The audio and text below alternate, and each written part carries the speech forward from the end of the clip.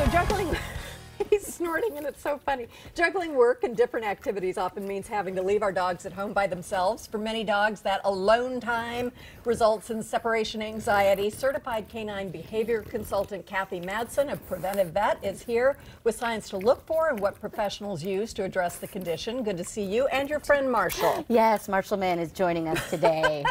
He's been so good, but there have been some snorts that have made me want to snort along with him. Comes with the Frenchie breed. Comes sure. with the Frenchie. All right, so canine separation anxiety is a problem for pets, and it can also be a problem for humans because we know our dogs are suffering if we've left them and they have this problem. Right. So we really need to address it. Yes? Yeah, and it's a really big problem. One in seven dogs has separation anxiety. Yeah, it's that's about 13 million dogs just in the U.S. alone, and it's really tough for the owners. Look at the dog. Yeah, and it's really tough because a lot of people they come home to destroyed homes. Mm. They're chewing through the walls. They're howling all, all day long, and so neighbors are complaining. People get evicted because of separation anxiety symptoms. It's a really big deal, and if you you know if you work all day, Mm-hmm. it's something that you have to think about in terms of your dog and their access to company and all of that. Right. So let's just talk about. You mentioned some of them, but some of the signs to look for. Right. We all know dogs will chew something now and then. That's that's one thing, but we're looking at this video that kind of Yeah, and tells so us more. The things that happen with separation anxiety, we can tell they're from anxiety because they really tend to happen only when you're gone. Mm-hmm. Um, so things like excessive barking, where they can't calm down while you're gone, chewing, escape behaviors, especially when you're seeing destructive behaviors So around trying to the get door. out of the cage or out of a door. or destroying things like the mattress, like you can see with the beagle there. Um, but other smaller symptoms that people might not realize excessive greetings when you get home, kind of like they're in a panic, potty Mm-hmm. accidents in an otherwise house trained dog, that's another big sign, or even self harm, licking themselves till they're bleeding. A lot of dogs will do that as well because they're so stressed out. It's like having a panic attack for humans. Dogs are going through that same thing. So if you think your dog is going through separation anxiety, what's step one? Step one is you really want to connect with your veterinarian and then also a certified dog trainer or behavior consultant. Having that support group, that team around you to help you through it is really important and will mean more success for you.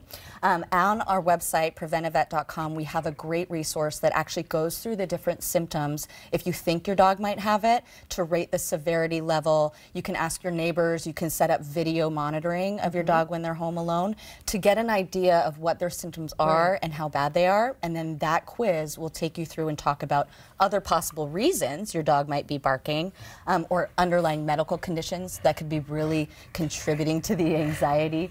Um, but you want to connect with a trainer. is, is just really telling us what's up He right is, now. and he has separation anxiety that we've been working on with great well, success. and the thing of it is, it's the dog's happiness and mental health. I mean, you really do need to do something, and your quiz is such a good way to start just getting a, a quantitative assessment of what's going on with the dog so we know what to do. So you brought some things today that may help, and you know, you can kind of go up from here, but these are good ways to start. I, I Yeah, take and it. so what a trainer is going to start you with is figuring out some management options. Um, a lot of these things aren't necessarily what we would consider treatment. They're not going to solve the anxiety on their own. They're going to make your dog feel better when they're alone. They're going to manage the symptoms and help them feel calmer, but it's not going to resolve the anxiety. So a lot of people have heard about um, anxiety wraps. Or dog appeasing pheromones, so like the spray that we brought dog has a along. thunder shirt on. Yes, so those can really help calm them down with that that pressure along their body and those pressure Mm-hmm. like a points. hug. Exactly. So that can help a lot of dogs, especially like you mentioned, a dog with noise anxiety and thunder phobia. Those really Mm-hmm. I've got help with those. that anxiety, but can also help in some cases with separation anxiety. Other management include things like leaving stuffed Kongs out for them, Mm-hmm. interactive toys that keep them busy while you're gone. Exactly. But what a trainer and things really that last a while, right? Exactly, You don't want it just a treat because they'll. Whoa, Marshall! Marshall just took a tumble. He's like, I'm a gymnast. Come on. But yeah, you can stuff a. Kong with some wet food, um, some treats, and freeze it to make it last a really long Oh, time for when you go. So that way they're not done with it like in one or two minutes after you leave. And then they're right back to where they were. Exactly. What is this? The Calmer Canine Anxiety so Treatment. this is something Can I turn I'm really around so yes, definitely. And you can even take this this off. Um, what this is is it's a drug-free option. So a lot of my clients, when they're dealing with anxiety, they want to stay away from pharmaceuticals and the prescription meds, which, in all honesty, can be really helpful for a lot of cases. And some dogs need it. And some dogs need it in order for the actual treatment of behavior modification and big words here counter conditioning, desensitization that a certified trainer is going to start you on to treat the anxiety.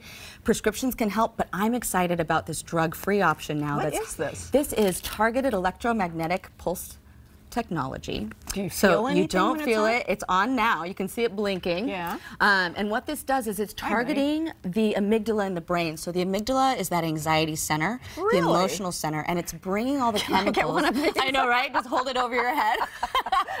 but it's bringing that brain chemicals into balance and helping the dog stay what we call under threshold. So they're able to cope with you leaving much better, which then means your treatment, the behavior modification you're doing, sticks in their brain better and they learn faster. This actually works. Yes, there's some great studies behind it. Their pilot study from Calmer Canine had some wonderful results that got me really excited.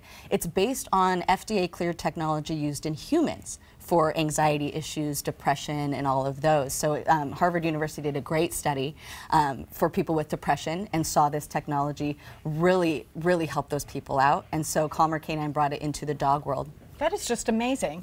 Is Marshall doing well with his program? He is. So he started on Calmer Canine treatment, and his mom didn't even really know how bad his anxiety was when she was gone.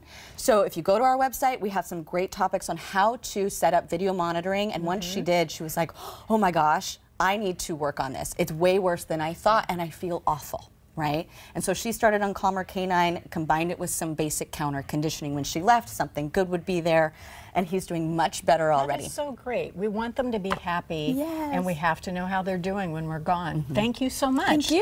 That's very helpful.